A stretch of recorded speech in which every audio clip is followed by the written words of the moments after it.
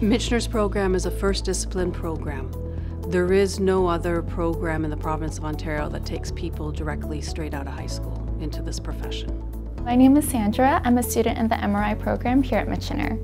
MRI is a diagnostic imaging modality that uses strong magnetic fields and radio frequency pulses to be able to create diagnostic images. So the program prepares you for patient care and screening because there's so many dangers that comes with such a strong magnetic field. It also prepares you for imaging optimization, so that's playing with parameters and this very complex software, patient positioning as well, because at the end of the day, you're trying to get great images to be able to make important diagnoses. The ideal candidate is someone who likes working with people, um, both working with patients as well as working with colleagues and an interprofessional environment.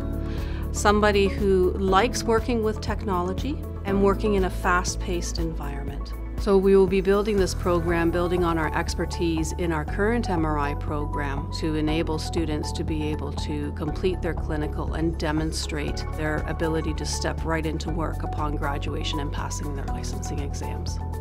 The program is going to be a total of five semesters long, delivered in a hybrid model a combination of didactic, so online and on-site learning, with two semesters of clinical. The MRI First Discipline program enables us to produce graduates that does not poach from the other imaging disciplines to enter into the profession. At the end of your didactic learning, you get to go to clinical placement and I think for most people, that's easily the most valuable part of your education at Michener. When you get to your hospital site, you'll be on the floor working with technologists, putting all that you learned you know, through textbooks and through lectures into hands-on practice.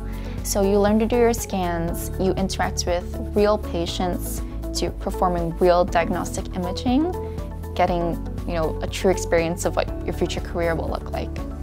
My advice to somebody considering Michener would be to just go for it and really stay true to why you pursue healthcare in the first place.